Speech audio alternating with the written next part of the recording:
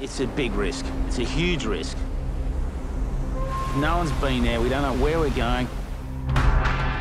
It could be a really good discovery, but it could be a complete myth. This one, Tom. Go, go, go, go!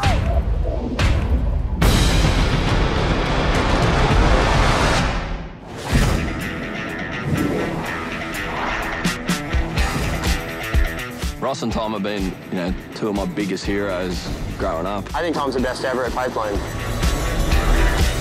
Ross, there he is. He's taking off in massive waves. No one can take their eyes off him.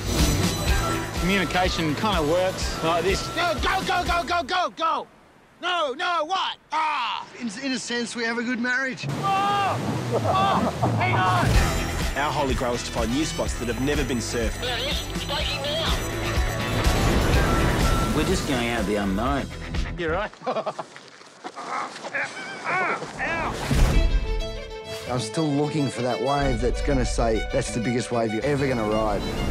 This is not fun and games. This is a very, very serious operation in a very, very dangerous environment. I think Tom's psyche's changed on this whole thing. He sort of spent a lot closer time to his three girls.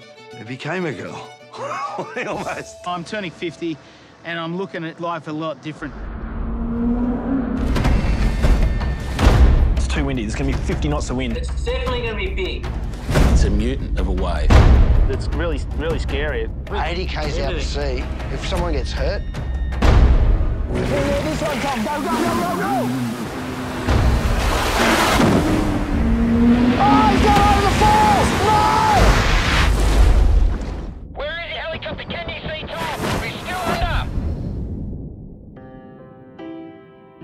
With all this knowledge, the fact is there's a gap there, and that's Mother Nature.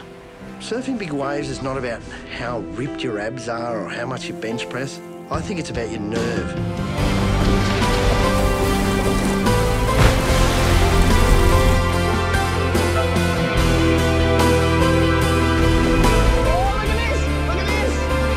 No, I think they've both lived a few lives. They've lost a few lives. You know, if they've got nine they started, they're down to one or two each, mate.